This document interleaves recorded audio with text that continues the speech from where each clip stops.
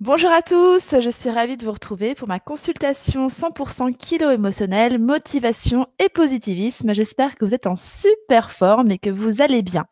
Alors, d'emblée, je vais dire bonjour aux nouveaux membres, aux membres VIP.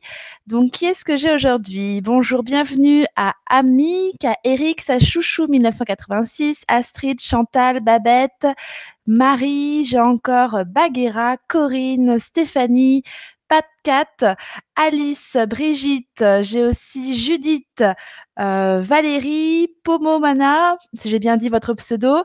Donc là, les nouveaux membres, ce sont, vous l'avez compris, euh, les membres qui viennent de s'inscrire dans le programme et qui sont à leur tout début euh, de coaching nutrition santé. Donc vous êtes entre la semaine 0 de découverte, c'est-à-dire que vous commencez lundi prochain, jusqu'à la semaine 4. Donc vous êtes dans votre tout premier mois de coaching.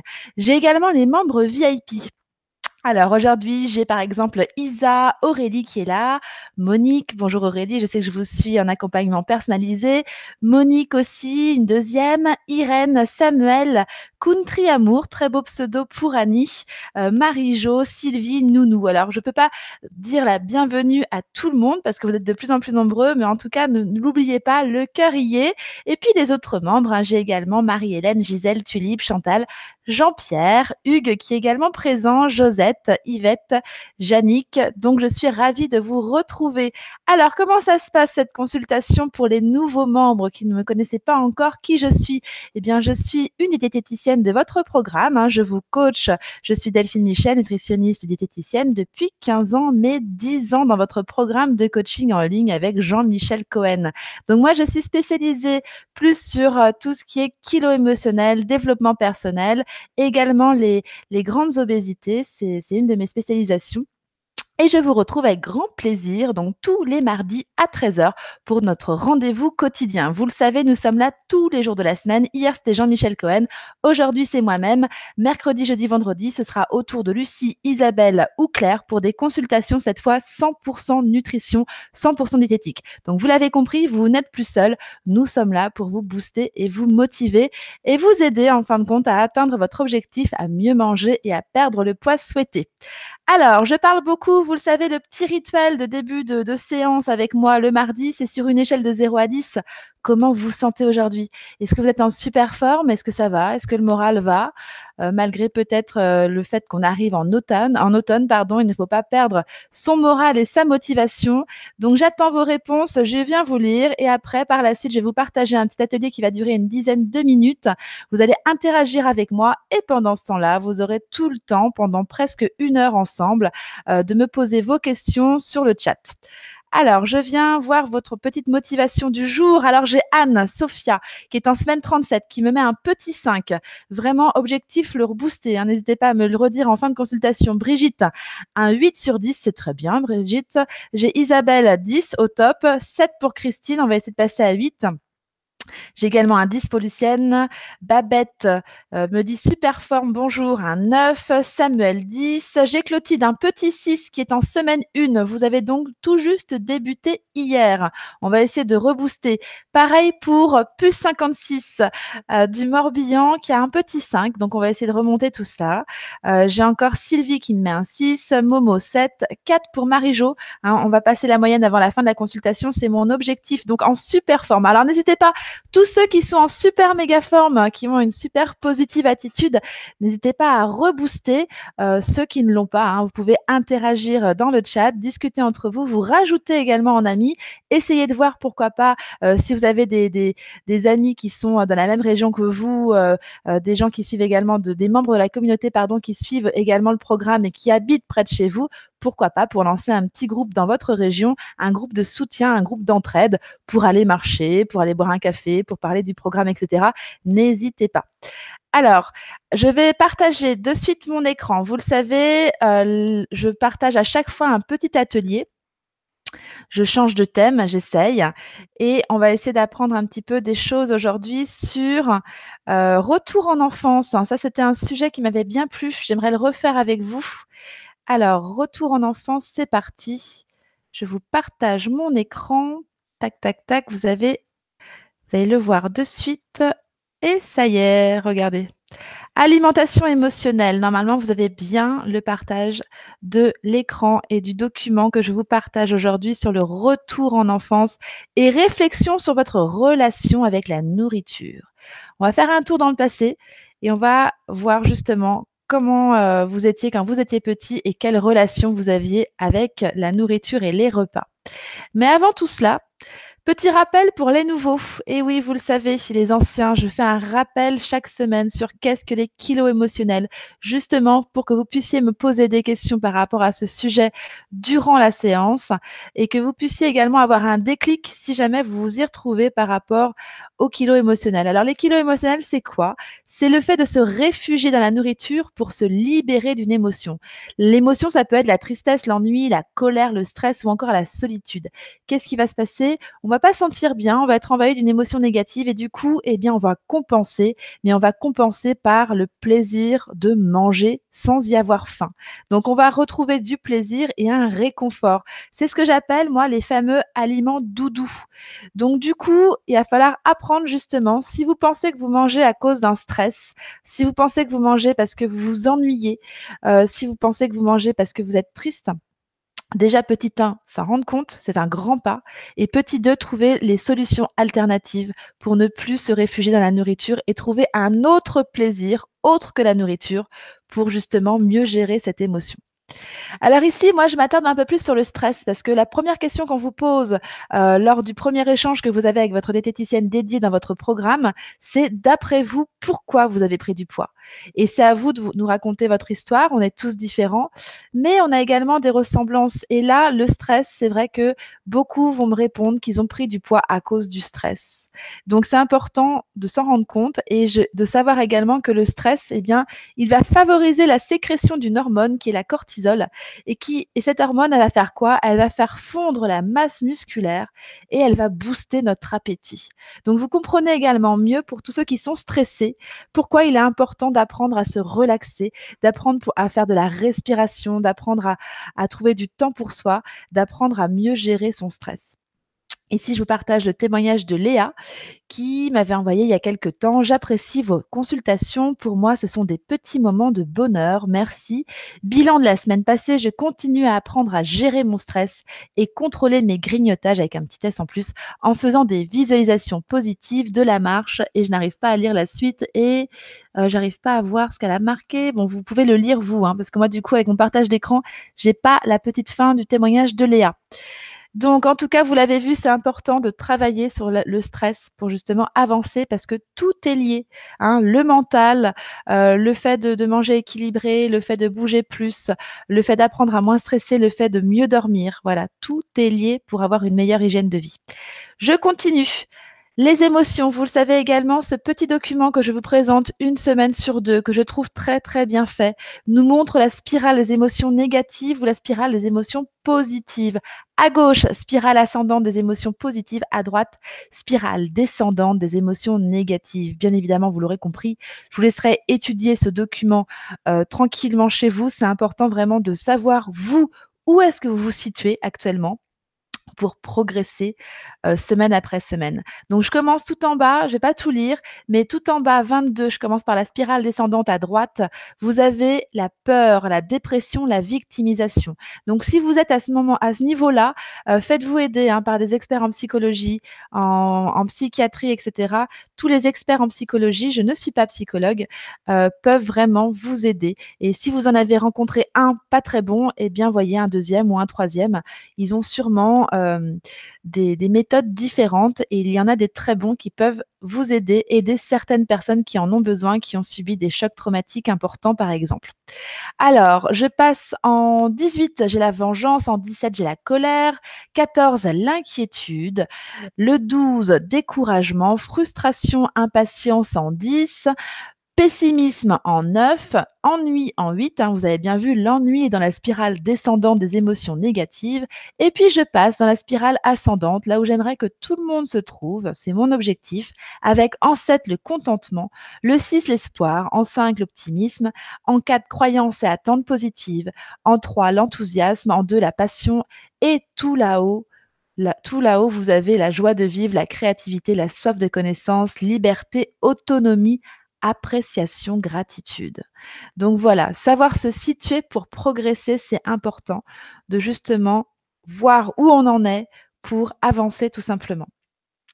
Alors, je passe maintenant à mon petit atelier. Vous avez vu, je suis très bavarde hein, pour ceux qui ne connaissaient pas encore.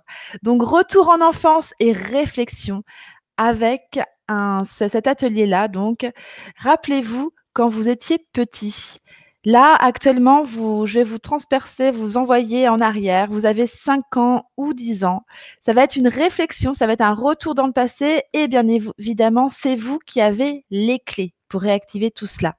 Donc mes questions vont être les suivantes. Vous n'êtes pas obligé de participer. Si vous n'avez pas envie de faire euh, ce flashback retour en arrière, eh bien parce que peut-être vous avez des mauvais moments euh, et que vous n'avez pas envie, eh bien ne le faites pas.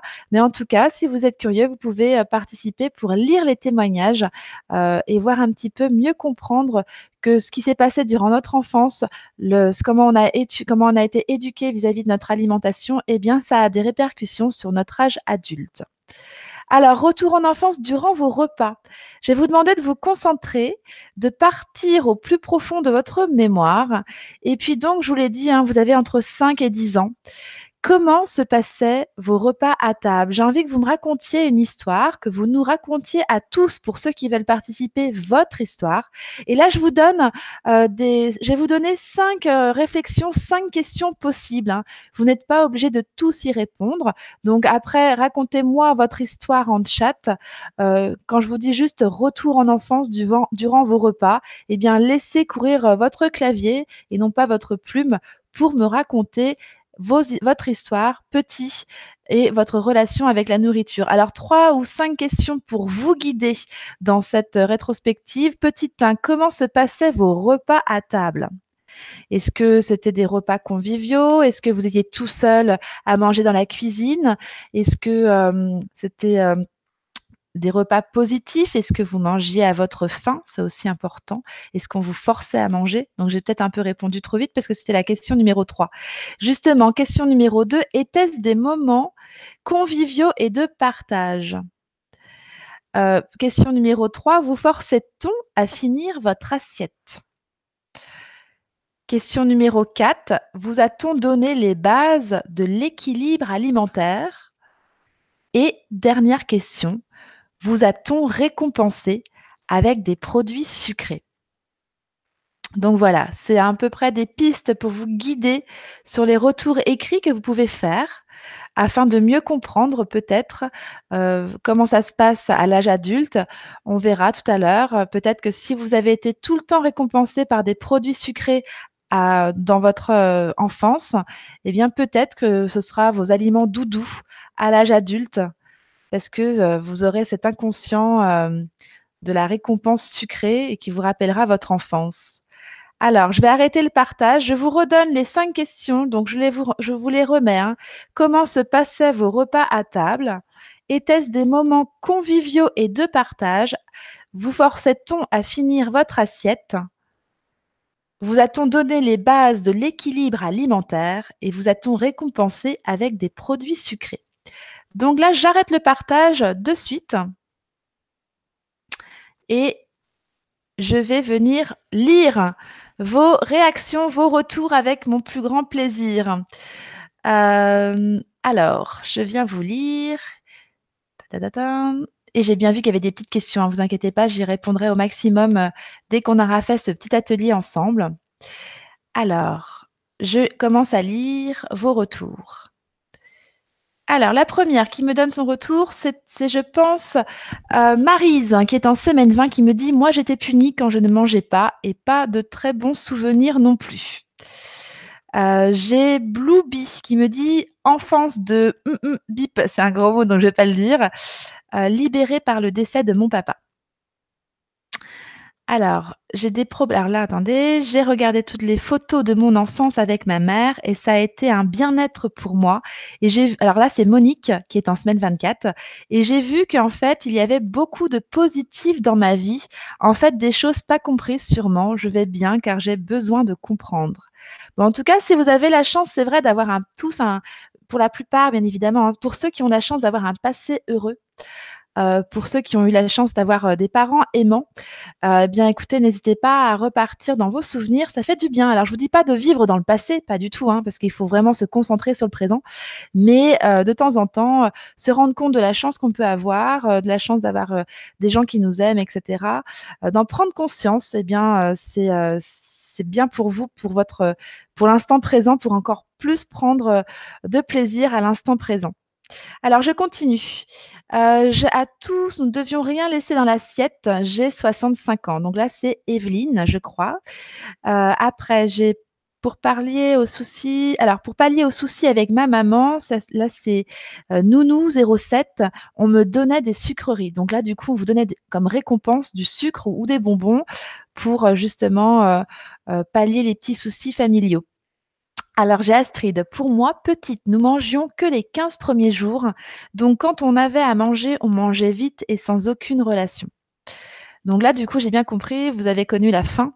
Euh, c'est vrai qu'également pour toutes les personnes qui ont connu la faim, euh, peut-être euh, la faim, la guerre, la restriction, bien évidemment, plus tard, c'est fort possible que vous ayez, du coup, euh, vous ne sachiez pas euh, euh, ne, pas finir votre assiette, que vous, que vous ayez ce besoin également de manger un peu plus.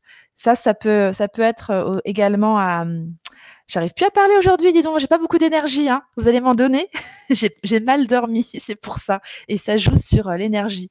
Donc du coup, je m'excuse d'avance si je commence à bafouiller et à être moins énergique que d'habitude. Donc je sais plus ce que je disais, mais en tout cas, oui, si vous avez eu faim durant votre enfance, si vous avez eu euh, ce genre d'émotions euh, négatives, bien évidemment, eh bien oui, plus tard, ça va avoir des répercussions. Mais vous inquiétez pas, rien n'est joué. Vous pouvez toujours rééduquer, réapprendre et vous en prendre conscience. C'est déjà également, vous le savez, un premier pas. Alors, alors j'ai Clérane qui me dit pas un mot de la part des enfants, papa parlait. Si on disait je n'aime pas ça, on en avait le double. Donc là, on vous forçait. Et c'est vrai que c'est dommage. C'est vrai que c'est dommage pour certains. On le verra tout à l'heure également avec euh, cinq conseils justement pour, euh, pour euh, donner les bons réflexes si vous êtes parents ou grands-parents à vos enfants ou petits-enfants.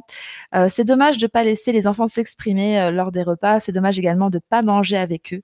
C'est vraiment important de retrouver cette notion de convivialité maintenant à l'âge adulte que vous pouvez faire avec votre famille et si possible avec vos enfants, vos petits-enfants, etc. Alors, j'ai un j'ai râleuse 59. Bon, j'espère que vous n'allez pas, pas râler aujourd'hui, vu votre pseudo, qui est en semaine 2, qui me dit J'étais en pension à 7 ans et les repas, c'était dans un silence absolu et il fallait tout manger même si on n'aimait pas. Oui, on nous a forcés. Alors là, ça me fait penser aux histoires de mes parents. Mais par exemple, mon papa aussi a été, euh, je crois, quasiment 8-9 euh, ans en pension on le forçait également. Et ma maman aussi était dans, une, école euh, catholique euh, où on forçait aussi à, manger euh, tout, ce qu'il y avait. L'anecdote, c'est qu'il y avait des gros bouts de gras dans l'assiette. Elle les cachait dans, ses poches pour les jeter plus tard.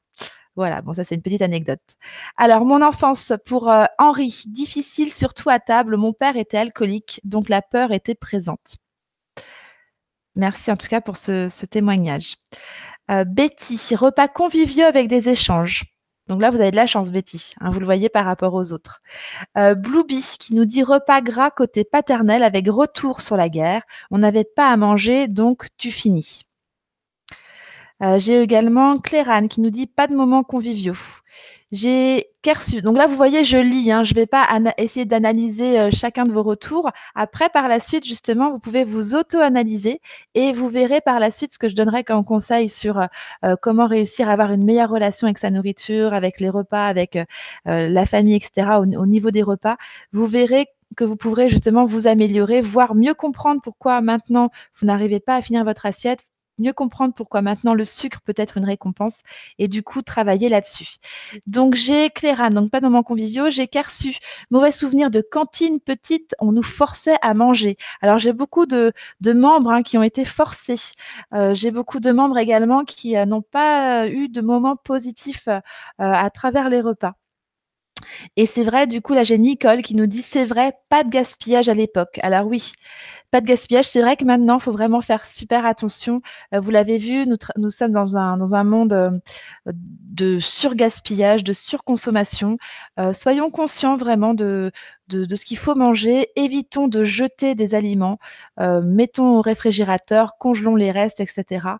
Si vous le souhaitez, mais ce n'est pas mon atelier, c'est pas le thème de mon atelier du mardi. Mais je serais friande de vous faire un atelier justement sur comment limiter le gaspillage et faire des économies du coup.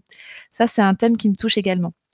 Alors, j'ai Somnia, Sofmia pardon, qui me dit bonjour tout le monde. Je vais écouter attentivement car moi, on me disait toujours que je ne devais pas manger ceci ou cela, à défaut de mon frère. Pas toujours agréable. Je mangeais à ma faim, mais pas très agréable non, non pour le sucré. Alors, pas du tout, nous n'avions pas le droit de parler pour Evelyne. Repas conviviaux pour Christine. Je ne sortais pas de table avant que je finisse mon assiette. Alors là, c'est Brigitte qui nous partage son témoignage. Euh, je mâchais ma viande pendant des heures jusqu'à ce que cela devienne une boulette. Je devais avoir 4 ans, j'en ai 62 ans également. Alors c'est intéressant pour tous ceux qui ont. Euh, n'hésitez pas à, interagir et à peut-être me le mettre à la fin du chat là parce que je verrai pas en, direct. Il faudrait que j'aille chercher, mais n'hésitez pas. Tous ceux qui ont été forcés, euh, qui ont été forcés de finir leur assiette, n'hésitez pas à nous dire maintenant comment vous ressentez face à votre assiette. Est-ce que vous arrivez à finir votre assiette? Est-ce que vous arrivez à ne pas tout manger? Est-ce que vous ressentez la faim aussi? C'est important cette sensation là. Donc n'hésitez pas à nous dire pour ceux qui ont été forcés petits. Euh, d'après vous, est-ce que ça a joué euh, sur, votre, euh, sur votre relation avec la nourriture à l'âge adulte Je pense que oui, mais je serais curieuse, bien évidemment, d'avoir vos retours. Également pour tous ceux et là, il faut bien le notifier dans l'écrit. Hein, euh, pour tous ceux qui ont été récompensés par le sucre, n'hésitez pas à le notifier. Comment vous vous situez maintenant à l'âge adulte, votre rapport avec le sucre? Donc n'hésitez pas. Ceux qui ont été frustrés, pas frustrés, pardon, ceux qui ont été forcés à manger comment est votre relation maintenant et ceux qui ont été récompensés avec le sucre, comment vous êtes face au sucre actuellement? Est-ce que vous n'êtes pas addictif au sucre? J'ai peut-être fait une conclusion trop hâtive, mais je serais vraiment curieuse de vous avoir, vous, euh, en témoignage. Alors, j'ai Nounou qui nous dit non, pas de base, mais oui, récompense aux produits sucrés. Euh, j'ai Eric, il fallait rester assis. Obligation de finir son assiette, quitte à rester assise seule dans la cuisine devant mon assiette durant une heure. Alors j'ai Yvette qui me dit mon enfance repas conviviaux. Donc, qui est en semaine 27. Alors, j'ai Sylvie, qui est en semaine 1, donc qui commence tout juste. Euh, mon père me donnait toujours une cuillère de plus que ce que je voulais. Et oui, il fallait finir son assiette, pas de récompense. Repas convivial en famille pour Josette. Toute seule dans mon coin, on m'obligeait à manger, j'avais peur. Donc pour Chouchou. Euh, donc Chouchou, justement, est vous qui aviez peur et qui avez mangé toute seule petite N'hésitez pas à nous dire maintenant comment vous êtes face à votre assiette. Est-ce que vous êtes toujours euh, à manger seule? Euh, Est-ce que vous avez ressentez toujours cette peur et est-ce que vous vous réfugiez dans la nourriture? N'hésitez pas à nous dire comment votre relation avec, la, avec la nourriture, pardon, décidément, à l'âge adulte. J'adorais manger chez ma mémé car je trouvais ce qu'elle faisait qui était bon, bien à manger c'était toujours très bon. Alors là, j'ai pas le pseudo, c'est bizarre, mais en tout cas, j'en suis désolée. Du coup, je ne peux pas vous faire un coucou par votre nom ou votre pseudo. Question j'étais tellement maigre que quand j'étais petite, que l'on me donnait de l'huile de foie de morue pour que je mange. Alors oui, euh, on donnait de l'huile de foie de morue pour tous les acides gras essentiels et les vitamines qu'on peut retrouver. Après, euh, c'est vrai que c'est pas très bon. Euh, moi, j'avoue, j'ai par exemple ma belle-mère qui prend toujours de l'huile de foie de morue pour avoir les acides gras essentiels et, les vitamines anti-vieillissement. Mais bon, c'est c'est nullement une obligation. En tout cas, c'est vraiment pas bon. Je pense que dans beaucoup d'huiles de qualité, les huiles végétales, hein, on peut retrouver également euh, euh, tout, tout, ce qu'on va retrouver dans l'huile de foie de morue. Pas besoin de, de, de prendre ça à l'âge adulte. Baguera, non, je ne pense pas. Une maman seule avec trois enfants et qui déprimait. Merci Baguera pour ce retour. Euh, pas de base, pas de récompense, même si on mangeait tout pour râleuse. Euh, donc, euh, si on ne finissait pas notre assiette, on allait terminer sur le palier dans les escaliers pour Clérane. donc, j'ai Francite qui me dit à table, il fallait se tenir bien. bien ce devant le père, on écoutait la radio et ensuite la télé. On ne parlait pas à table pour Irène, on se sent on ne sentait pas la nourriture et on vidait son assiette effectivement récompensée par le sucré. Euh, j'ai Ico, repas toujours en famille, généralement agréable, moment de partage, mais des parents stricts, nous devions manger même si on n'aimait pas. Nous n'étions pas difficiles pourtant. Eh bien, en tout cas, merci. Hein. Vous êtes, euh, vous êtes très euh, actif pour euh, l'interaction et toutes les questions sur le, fait de repartir en enfance au niveau des repas familiaux, etc. Donc ici, j'ai plus 56 qui me dit il fallait finir son assiette et ne pas parler. Mais ma mère était une bonne cuisinière. Les bonbons étaient une fois par semaine. Alors oui, bien évidemment. Si vous avez eu la chance aussi d'avoir une maman qui était bonne cuisinière, qui avait le temps de nous faire à manger, qui avait le temps de nous faire des bons petits plats, ça c'est également un plus. On en parlera. Mais c'est vrai que si vous avez des parents qui ne vous faisaient pas bien à manger, si c'était pas bon, etc., ça, ça peut être également un handicap pour la vie future parce que du coup, il faut également que les parents apprennent à cuisiner à leurs enfants et leur donnent le goût de cuisiner. Et ça, je compte sur vous, que vous soyez parents ou grands-parents. Alors, j'ai Lolo qui me dit Je compensais par la nourriture, je faisais beaucoup de sport. Et toute petite, j'étais très menue et on me disait Mange, mange, mange. Alors, et oui, il fallait qu'on finisse notre, nos assiettes, surtout la viande, parce que la viande était le plat le plus cher, toujours actuellement. Hein. Euh, le plat le plus cher, je pense que vous avez pu voir euh, l'évolution du prix euh, de la viande, du poisson de qualité, bien évidemment, ça devient vraiment hors de prix. Difficile, pas de gros moyens, donc pas équilibré, mais c'était bien avec peu pour Anne. Pas le droit de parler et de se dire que, ce n'était pas bon. Son assiette, pas de bon moment et pas équilibré. J'ai 60 ans. Et ça, c'est Lucienne. Euh, nos contenus terminés dans les toilettes du cinquième étage. Pas de récompense sucrée pour Clérane. Ma mère me donnait des aliments sucrés quand elle était absente. Claire de Lune. Irène, par contre, quand papa travaillait, repas plus conviviaux pour Irène. Euh, voilà, bah écoutez, je pense que. Alors, je lis une dernière, un dernier euh, ou deux exemples de retour. En tout cas, c'est vraiment très instructif. Hein. Travaillez là-dessus, votre relation avec votre passé, la nourriture, etc. Et puis, essayez de mieux comprendre pourquoi vous avez ces réactions à l'âge adulte. Ça peut vous aider. Donc, dernier pour Pascalotte. Bonjour, j'étais obligée de manger ce qu'il y avait dans mon assiette car sinon, c'était que j'étais malade et devais finir mon assiette pour ne pas gaspiller. En plus, on me forçait à manger même ce que je n'aimais pas, quitte à rester des heures toute seule dans la cuisine devant mon assiette froide. Et ça, je suis sûre maintenant, Laurence, euh, c'était Pascal Scott, mais c'est Laurence qui est en semaine 4. Je suis maintenant sûre que vous avez peut-être du mal à euh, réussir à finir votre... Enfin, vous devez vous dire maintenant à l'âge adulte qu'il faut finir votre assiette. Alors que maintenant, ce qui est le plus important pour vous, c'est de réussir à bien vous concentrer sur vos sensations de faim et de satiété. Et si vous n'avez plus faim, vous n'êtes plus obligé maintenant en tant qu'adulte de finir votre assiette. Ne jetez pas, bien évidemment, parce qu'il ne faut pas gaspiller, mais euh, remettez les restes dans un tupperware au réfrigérateur ou bien si c'est pas déjà congelé, recongeler le plat par exemple pour euh, le remanger plus tard. Il n'y a pas de souci. Alors, je vais vous montrer quelque chose moi parce que je suis une grande bavarde, vous le savez. Euh, maintenant, par rapport à tout ce qu'on a pu voir sur euh, vos réactions en tant qu'enfant par rapport à votre relation avec la nourriture, eh bien, je vais vous donner les cinq conseils justement, les cinq leçons ou solutions possibles. Alors, ici, vous l'avez normalement en grand Oui. Alors, quelles sont les solutions? Donc, il faut vraiment comprendre l'importance du partage et de la convivialité à table. Donc, si vous êtes parent, si vous êtes grand-parent, vous avez une mission, c'est redonner le goût de se mettre à table et redonner le goût de la convivialité du petit déjeuner, du dîner en tout cas, par exemple, du euh, repas dominical, enfin les repas que vous pouvez faire en famille, c'est vraiment important que tout le monde puisse se poser à table, partager, parler, euh, s'intéresser aux autres. C'est vraiment un moment de partage et de convivialité qu'il faut remettre au goût du jour.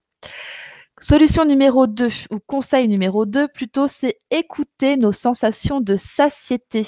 Et comme je l'ai dit juste avant, ne plus finir son assiette si vous n'avez plus faim. Donc ça, c'est vraiment important. Il faut euh, vous goûter au moins, mais ça, je parle pour les enfants, mais vous n'êtes pas obligé de finir l'assiette. Surtout pour un enfant, ne pas forcer à finir son assiette.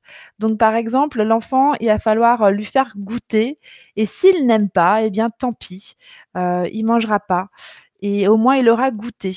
Donc ne pas forcer, sinon plus tard on va avoir justement des répercussions, on va pas avoir ce bon rapport positif avec la nourriture et c'est vraiment important.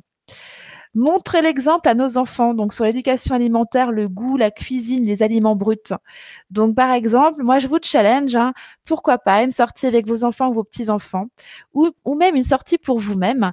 Euh, eh bien, allez vous promener dans, le marché euh, du quartier, allez découvrir des aliments peut-être que vous ne cuisinez jamais. Regardez bien nos, nos 3000 recettes diétético-gourmandes, comme je, les appelle, et puis soyez curieux, soyez inventifs, soyez créatifs, testez des nouveaux aliments. Euh, quand je parle nouveaux aliments, je ne parle pas des nouveaux aliments hyper industrialisés qui, pullulent dans nos hypermarchés mais je parle des aliments bruts, hein, des légumes, euh, des végétaux, des, fruits et légumes que vous n'avez pas l'habitude de manger. Testez, goûtez. Donc reprenez goût à pratiquer la cuisine un petit peu, même si vous n'avez pas beaucoup de temps, ne serait-ce que 15 minutes, 20 minutes par jour, euh, c'est important. Et puis soyez curieux et puis prenez une bonne éducation alimentaire à vos proches, à votre famille.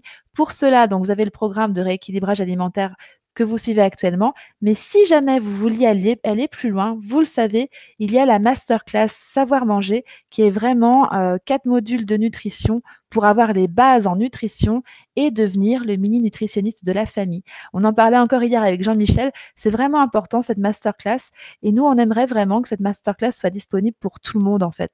Tout le monde puisse avoir accès à cette masterclass qui sont les bases de la nutrition. Autre conseil, ne pas récompenser avec des produits sucrés. Alors c'est vrai qu'on a tous, euh, on l'a tous fait. Moi-même qui suis maman euh, d'un petit enfant de Valentine de deux ans et demi, j'évite de la récompenser avec des produits sucrés, bien évidemment. Mais du coup, qu'est-ce qu'on peut faire? Eh bien, à la place, on va lui, faire des compliments. On va lui dire qu'on est fier d'elle sur un, sur un point, sur un autre. On va la sortir plus également, si on peut, des expériences, des loisirs, sortir, une balade en forêt, une piscine, un cinéma, etc., etc. Donc, ne plus récompenser avec des produits sucrés, c'est également très important par rapport à comment il va réagir plus tard avec le sucre. Donc j'arrête le partage, vous le savez, je suis bavarde, j'arrête, j'arrête, j'arrête et je reviens avec vous pour enfin répondre à vos questions. Alors, n'hésitez pas du coup, euh, si vous m'avez posé des questions, que je ne les ai pas vues dans le flux parce que vous êtes nombreux à échanger, en plus je vous fais interagir, n'hésitez pas à me reposer votre question, je vais faire le maximum pour y répondre durant une vingtaine de minutes là avec vous. N'hésitez pas à me marquer question et puis la question à me la reposer. Alors, je cherche vos, questions du coup.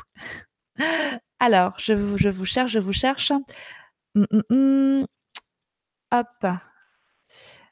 Alors, je fais beaucoup. Alors là, j'ai Anso. Je fais beaucoup de périodes d'anorexie ou boulimie car ma famille m'a toujours critiqué par rapport à mon poids. Alors, Anne-Sophie, euh, je sais si je me trompe pas par rapport à votre petit avatar et votre photo, également votre pseudo. Je crois que je vous suis actuellement en formule accompagnement personnalisé. Du coup, je vous ai tous les jours, euh, soit sur le carnet, soit sur euh, la messagerie. Et il est important pour vous, donc, si on vous dit votre famille vous a toujours critiqué, eh bien, il va falloir sortir et faire abstraction aux critiques. Il va falloir que ce soit pour vous. Euh, votre poids, vraiment, c'est on est, faut, faut, se retirer. Les gens critiquent, et eh bien, faut qu'ils arrêtent de critiquer. Les périodes d'anorexie, de boulimie. Donc là, vous pouvez également, c'est important, vous faire aider par un expert en psychologie, parce que justement, il va vous écouter, mieux comprendre justement la relation que vous avez eue avec votre famille, qui vous a poussé à manger trop à un moment ou à plus manger du tout. Donc n'hésitez pas vraiment à, à, vous faire aider en parallèle. Donc moi, je vous suis tous les jours, mais et puis à, à ne plus euh, être concentré sur le regard des autres, mais sur votre propre regard avec vous-même. C'est important vraiment de j'avance pour moi, j'améliore mon comportement alimentaire pour moi, je me fais du bien, j'apprends à mieux manger, à améliorer mon hygiène de vie, mais c'est pour moi, c'est pas pour les autres. Donc, on sera toujours critiqué. Euh, bon, là, c'est votre famille, donc ça vous touche encore plus, bien évidemment, parce que ce sont vos proches. Euh, mais soyez aidés si besoin euh, par un expert en psychologie. Alors, je continue. Je continue. Je cherche vos questions. Alors ici, oui, alors voilà, justement, Anne-Sophie, par rapport à sa relation avec la nourriture, nous disait que sa mère lui disait que des enfants meurent dans le monde pour nous forcer à finir ce que nous n'aimions pas. Voilà, donc ça, c'est vraiment typiquement ce qu'il ne faut pas dire, parce que euh, oui, il ne faut pas gaspiller, mais il faut manger à sa faim, il ne faut pas être forcé, Et euh, pour limiter le gaspillage, vous le savez, hein, euh, tout simplement euh, garder les restes au réfrigérateur et puis en refaire un, plat composé pour le lendemain, il n'y a pas de souci. Minarine, pas de bons souvenirs de repas, père trop sévère et obligé de manger de tout sans boire, sans parler, les mains sur la table et assise convenablement sur la chaise. Donc j'espère désormais, ma Minarine, que à l'âge adulte, vous avez réussi à retrouver des repères positifs par rapport au repas. Euh, c'est important et j'espère que, vous avez réussi à retrouver donc euh, euh, des repas conviviaux et, que ça s'est amélioré à l'âge adulte. Alors, je cherche des questions, moi, parce que du coup, j'en ai pas. J'ai plein, plein, plein de témoignages, mais je cherche des petites questions. Alors, je vais aller plus bas. je vais aller plus bas et je vais trouver des questions. Je suis sûre. En tout cas, merci pour vos témoignages. Hein. Je pourrais même faire un, mini-livre sur, euh, bien évidemment anonyme, sur toutes vos réactions et, toutes vos, tous vos témoignages sont super intéressants. Mm, mm, mm, alors, y a-t-il des questions? J'appelle aux questions. Là, je vous invite à reposer vos questions. Oui, merci beaucoup. Alors là, j'ai Monique. Question pour moi reste le chocolat. Impossible à limiter. Je ne prends plus qu'une tablette de 100 grammes pour limiter la casse. J'ai fait un an de psychologie parler, tout le négatif est sorti, tout ce qui m'inquiète. Alors, le chocolat, vous le savez, Monique, euh, moi, j'ai vous lancer le challenge de le déguster. Alors, l'art de la dégustation, c'est vraiment important. C'est un thème qui revient également toutes les mardis à mes consultations de groupe parce qu'il faut savoir manger, déguster et le chocolat aussi. Vous le savez, il n'est pas interdit dans le programme. Donc, vous pouvez tout à fait en prendre 15 grammes contre une équivalence plaisir, donc contre une portion de fruits de votre journée. Par contre, euh, eh bien, il va falloir trouver d'autres. Pourquoi vous avez envie de chocolat? Vous avez envie de chocolat Quelle émotion vous donne envie de manger autant de chocolat? C'est vrai que 100 grammes de chocolat, du coup, c'est un, c'est un écart. Il faut éviter. Donc, prenez 15 grammes, mais dégustez-le. Ça va vraiment être mon conseil numéro 1 contre une portion de fruits. Conseil numéro 2, vous le savez également pour les anciens, on en parle chaque semaine parce que vous êtes tous beaucoup des addicts du chocolat et je vous comprends. Euh, vous avez les fameuses tisanes au chocolat. Donc les tisanes au chocolat qui apportent pas de calories, euh, qui vont vous amener beaucoup d'odeurs, de flaveurs au niveau du chocolat et du coup ça va vous aider à avoir euh, cette sensation de chocolat sans en avoir les calories. Donc, testez la tisane au chocolat. Et puis, euh, bah, le troisième conseil, ce serait mieux comprendre quelle émotion vous envahit quand vous avez envie vraiment de, craquer sur la tablette entière de chocolat. Est-ce que c'est le stress? Est-ce que c'est l'ennui? Est-ce que c'est la tristesse? Est-ce que c'est le besoin d'un plaisir euh, intense, euh, immédiat, donc le chocolat peut, peut l'apporter. Donc comprendre cela pour essayer justement de trouver une solution alternative. Si c'est le stress, eh bien vous allez par exemple marcher un petit peu, vous occuper l'esprit, ça aide également, ou faire de la respiration. Si c'est l'ennui, eh bien vous allez euh, appeler une copine, pourquoi pas au téléphone, euh, prévoir une sortie, sortez tout simplement, allez trouver ce que vous pouvez faire à la mairie, etc. Allez vous occuper si vous n'avez pas beaucoup de d'activités. Et puis si c'est la tristesse c'est bien concentrez-vous sur les choses positives qui vous ont rendu heureux dans votre vie. Ça, c'est également important. C'est ce qu'on appelle les switches positifs. Quand vous avez une pensée négative qui vous envahit, eh bien, pensez à quelque chose de positif qui vous rende heureux. C'est vraiment important. C'est ce qu'on fait également, ce qu'on on en parle chaque semaine dans les visualisations positives. Alors, question, euh, comment faire pour dépasser ses habitudes SVP, question d'Alba. Alors, les habitudes, il faut savoir, ça dépend de quelle habitude vous voulez parler, mais je le rappelle, il faut 21 jours pour réussir à changer une habitude. 21 jours, ça équivaut à trois semaines. Donc, dans tous les cas, il, ne faut, il faut persévérer, il faut continuer, il faut se concentrer sur vos progrès et se dire que vous progressez semaine après semaine. Si par exemple, vous aviez l'habitude de manger trop vite, ça, c'est important également de d'améliorer ce comportement. Eh bien, on va se dire bon voilà, on va prendre conscience qu'il est important de manger moins vite, mais ça ne va pas être du jour au lendemain que vous allez apprendre et le mettre en action tous les jours. Donc du coup, comment faire pour dépasser ces habitudes? Tout dépend de l'habitude dont, vous voulez parler, mais en tout cas, le conseil que je vous donne, c'est persévérer, continuer, avancer, progresser, croyez en vous et n'oubliez pas, il faut 21 jours pour changer une habitude ou un comportement alimentaire en moyenne. Donc on continue. Que pensez-vous de l'hypnose? Nounou. Alors l'hypnose, euh, j'en entends que du bien. Il y a l'hypnose et il y a l'auto-hypnose. J'en entends que du bien. Ça peut vraiment vous aider.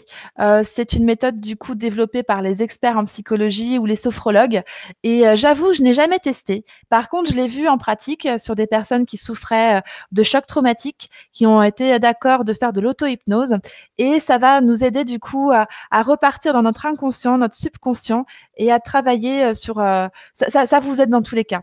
Donc ce sont vraiment des solutions alternatives qui peuvent vous aider et si vous êtes curieux, si vous avez envie de le tester, eh bien, pourquoi pas? Moi, je vous dis un grand oui.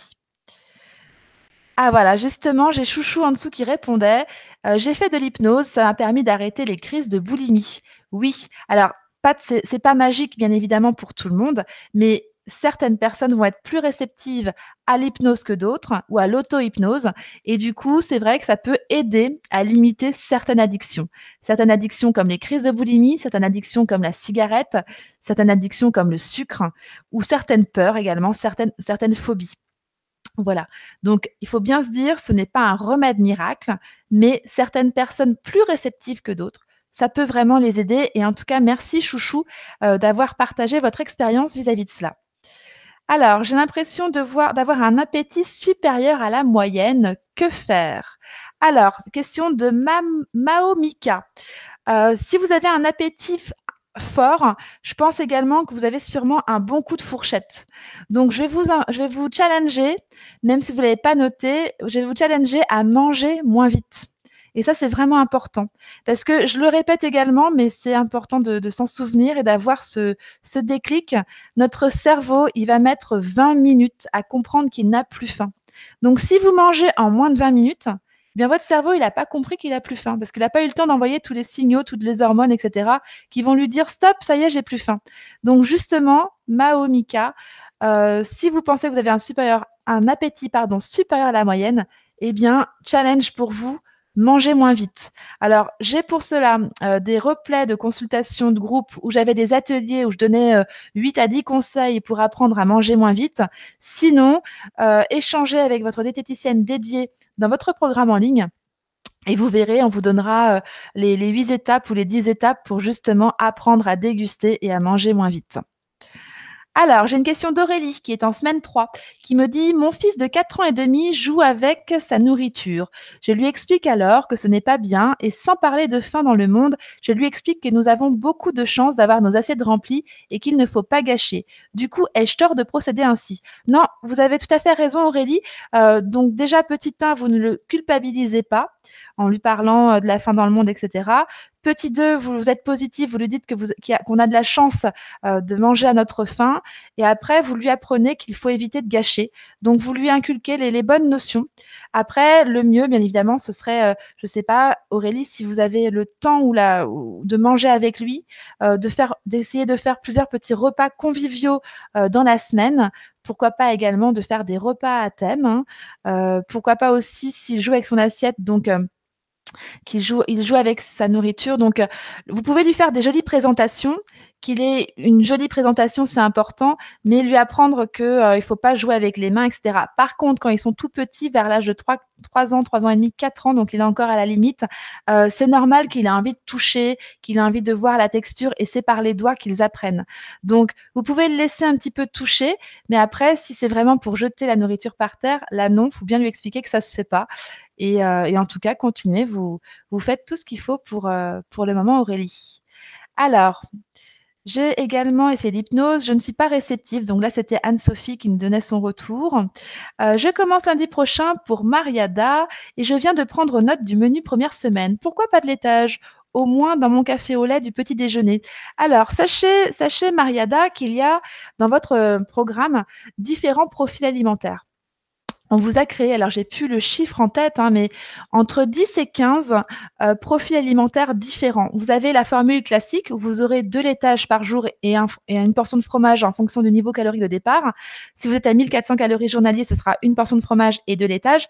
Mais vous avez aussi des formules végétariens, sans gluten, sans laitage, à base de lait de vache, mais avec fromage, sans boisson euh, de lait de vache, euh, sans laitage ni fromage, sans porc.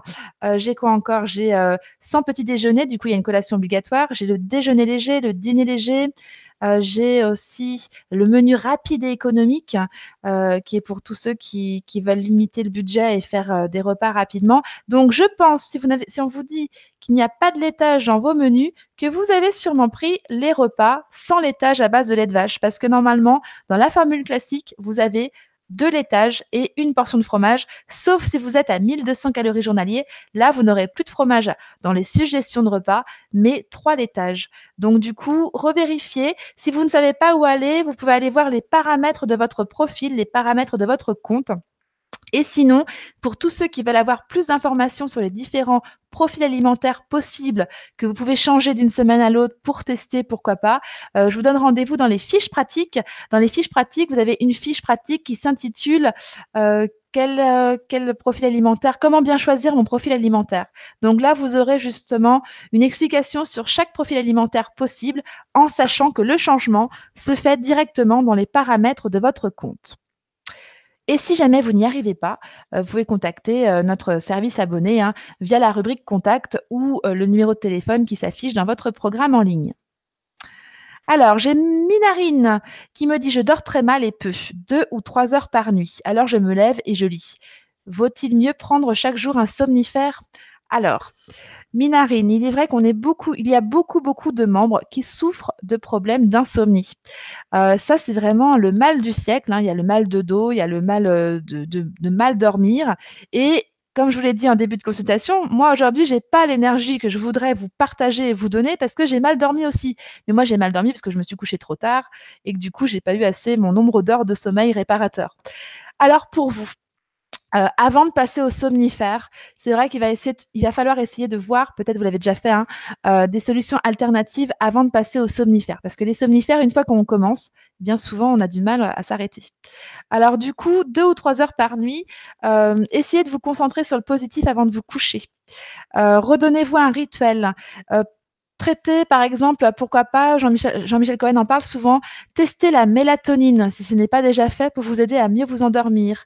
Euh, je redonnerai pas les conseils bateaux que j'ai pu, qu'on connaît tous, hein, mais couchez-vous à heure fixe, euh, ne prenez pas d'excitants avant de vous coucher, éteignez tablette, ordinateur, télé avant de vous coucher. Concentrez-vous sur des choses positives, ça je vous l'ai déjà dit. Euh, faites-vous un rituel tisane. Euh, prenez un laitage ça vous aide également à mieux vous endormir. Mais en tout cas, ça va jouer sur votre morale, sur votre efficacité, sur votre mental et également sur l'envie de grignoter.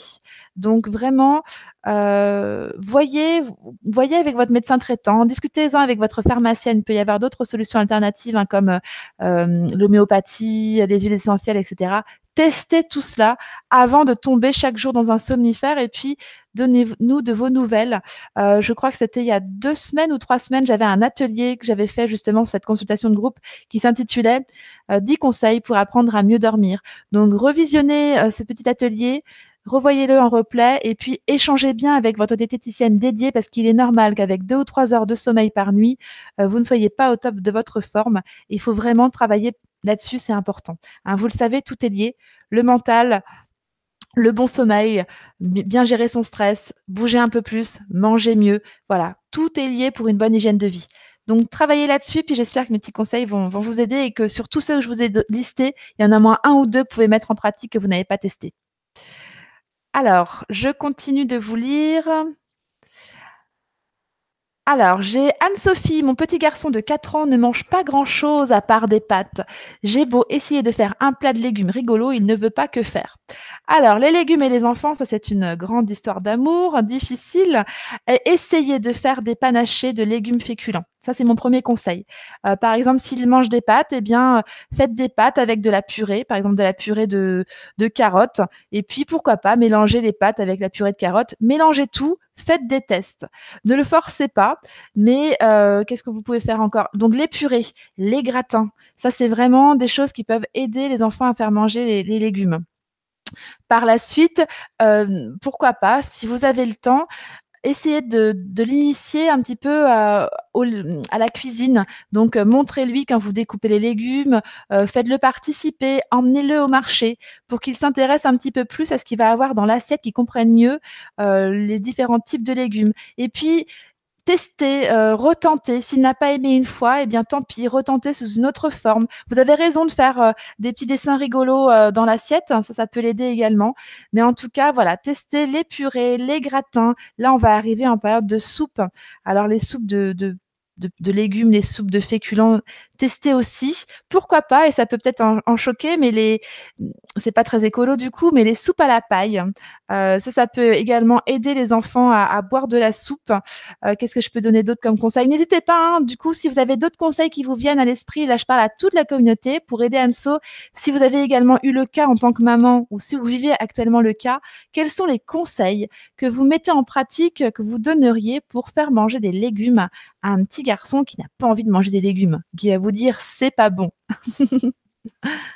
Donc, on, voilà, voilà les différentes pistes que j'ai pu vous donner. J'espère que, que ça vous a aidé. Mais c'est vrai que ça aussi, c'est un sujet très intéressant. Comment faire aimer les légumes aux enfants? Donc, emmenez-les euh, au marché, euh, pratiquez un petit peu des cours de cuisine. Il n'y a pas que les gâteaux qu'on peut faire en cuisine, on peut aussi faire euh, des petits plats rigolos, des entrées, des carottes râpées. Enfin voilà, montrez tout ce que vous pouvez faire. Mettez plein de couleurs dans son assiette. Montrez-lui l'arc-en-ciel de couleurs qu'il a dans l'assiette. Et puis, si vraiment ça ne passe pas, mélangez des féculents avec les légumes pour vraiment faire un panaché moitié-moitié. Alors, alors, Marise, du coup, me disait Delphine, changer ses habitudes de finir son assiette, par exemple, et ne pas culpabiliser. Alors, je ne sais pas si vous arrivez à, finir votre assiette ou à ne pas finir votre assiette, parce que c'est pas la même chose. Mais en tout cas, euh, voilà, comme je vous l'ai dit, il faut 21 jours pour euh, changer une habitude alimentaire. Et puis, ne, ne il ne faut pas culpabiliser. Si vous ne finissez pas votre assiette, ce n'est pas grave. Euh, vraiment, comme je vous l'ai dit, il faut écouter vos sensations de faim et de satiété. Jean-Michel Cohen le disait également hier à la consultation. Si vous n'avez pas faim par rapport à tout ce qu'on vous propose sur la structure alimentaire journalière, hein, vous le savez, il vous suffit par exemple de décaler le laitage et le fruit et de le prendre en collation et le tour est joué. Et si par exemple à midi vous n'avez pas trop faim, eh bien ne mangez pas tout, gardez, puis vous mangerez mieux le soir. Il n'y a aucun souci. Rappelez-vous que l'équilibre est sur la journée dans sa globalité. Alors, j'ai Sophie qui me dit bonjour. On essaye de proposer des repas équilibrés à nos enfants, mais difficile de faire passer les légumes. On leur demande de les finir avant de se resservir à autre chose. À ton tort. Finis tes haricots avant de te resservir des pâtes, par exemple. Alors oui, c'est vrai que là, pour le, le système de ils voudraient manger tous des pâtes ou des pommes de terre ou des frites. Ça, on est d'accord. Donc, finis tes haricots avant de te resservir en pâtes. Il n'y a aucun souci de dire ça. C'est, vous n'allez pas le forcer, c'est qu'il faut qu'ils se rendent compte qu'il doit manger les deux. Donc, du coup, il faut au moins qu'il ait goûté les haricots. Mais euh, oui, oui, oui, vous avez raison. Vous pouvez lui dire euh, euh, de, finir ses, haricots avant de reprendre des pâtes. Il n'y a aucun problème. Alors, j'ai Baguera. Pour un apéritif alcoolisé, que faut-il choisir? Champagne, vin blanc, rosé ou rouge? Alors, moi, si je devais choisir, j'avoue que j'adore le champagne, mais j'aime bien aussi le vin blanc. Et puis, un bon vin rouge, j'aime bien aussi. Mais bon, attention à petite dose. En fin de compte, la bonne nouvelle, c'est que pour, euh, euh, le vin, euh, vous pouvez tout à fait prendre un verre de vin de votre choix une coupe de champagne, un verre de rosé, un verre de rose un verre de blanc pardon, ou un verre de rouge euh, à la place d'une portion de fruits. Pour Jean-Michel Cohen, on va mettre les trois, euh, les trois euh, alcools dans le même sac, comme je dirais, et il vous suffit de le troquer contre une portion de fruits. Donc, aucun souci, choisissez, mais faites-vous plaisir.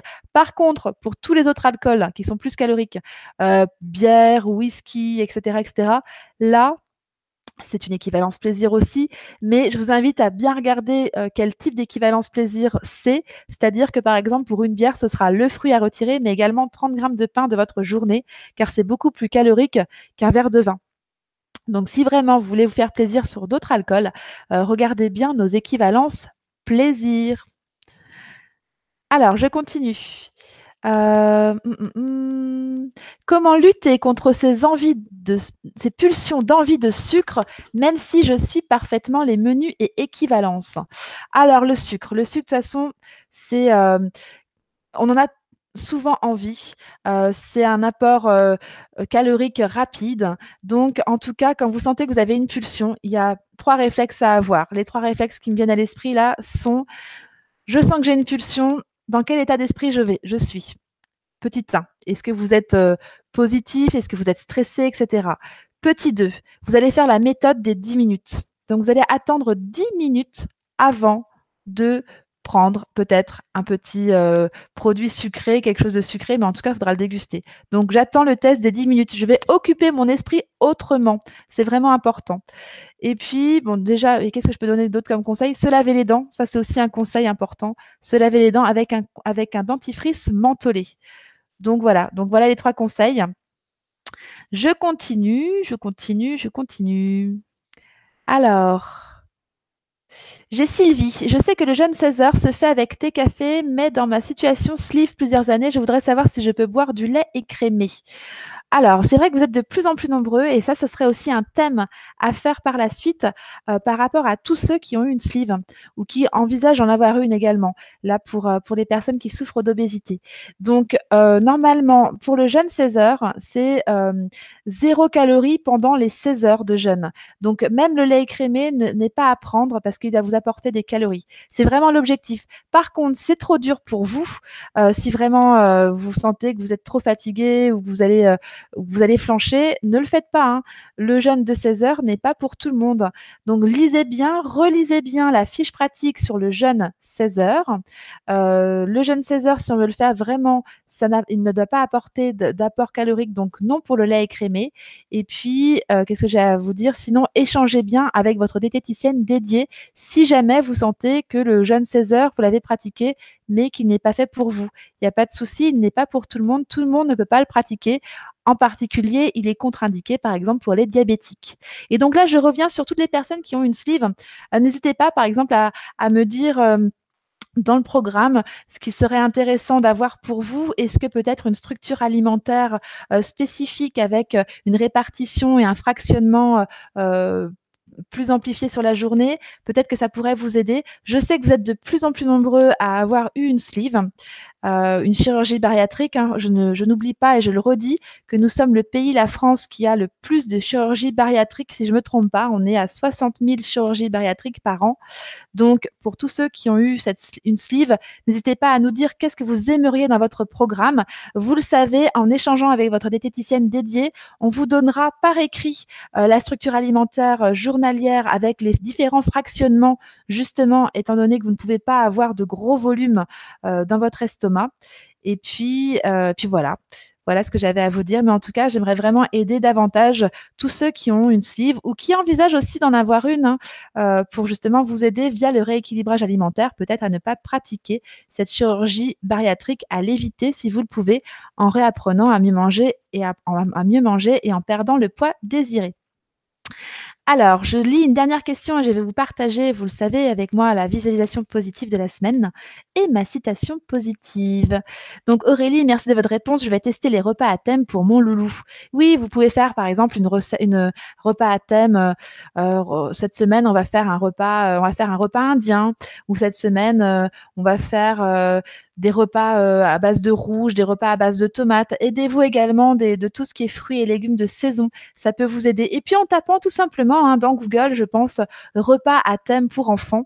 Euh, vous aurez pas mal d'astuces justement pour, euh, pour égayer et des astuces également pour donner envie de manger des légumes à votre petit loulou. Mais je vais revenir là-dessus. Je, je, vais vous créer, je pense, un petit blog sur les 10 meilleurs conseils pour faire manger des légumes à son mari ou à ses enfants. Alors, je continue. Une dernière question. Une dernière question pour vous. Euh, alors justement, j'ai Râleuse qui nous disait en témoignage, je faisais à mes, à mes petits-enfants pardon, de la purée verte, épinards et pommes de terre, ou purée rouge, carottes et pommes de terre. Il n'y avait que chez mamie qu'on mangeait cela. Et oui, bah ça c'est une très bonne idée. Sous forme de purée, ça marche toujours. Hein. Donc euh, testez les purées, euh, vous verrez. En plus, vous pourrez mettre un petit peu de pommes de terre dedans pour, pour que ça ait un peu plus de consistance. Et puis, je suis persuadée qu'ils vont adorer.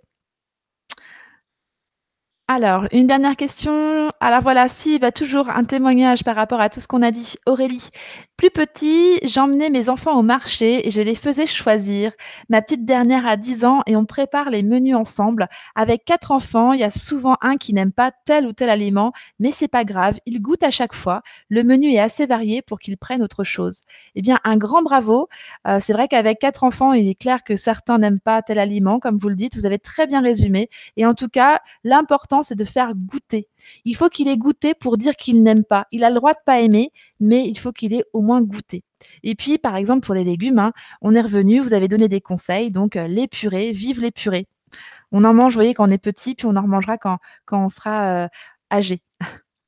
Alors, bon, bah écoutez, J'étais ravie d'être avec vous. Il est déjà deux heures. Donc, je vais vous partager ma, ma visualisation positive de la semaine en rapport avec les enfants, justement, et ma citation positive de la semaine également en rapport avec ce qu'on a vu aujourd'hui euh, sur euh, tout ce qu'on a vu sur euh, l'enfance.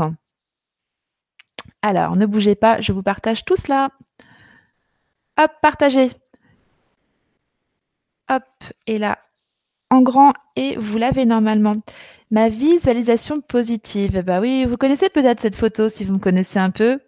Euh, ce sont mes deux petites poupettes, donc euh, Lou à gauche, Valentine à droite, un an après. Voilà, j'ai voulu immortaliser euh, ce petit moment. Et pour moi, bah écoutez, c'est ma visualisation positive. Si je vais pas bien, ça peut aussi m'arriver. si j'ai un manque de tonus, eh bien je me reconcentre tout simplement en fermant les yeux ou bien en regardant cette photo. je me reconcentre sur mes, mes deux poupées et puis tout d'un coup, tout va mieux.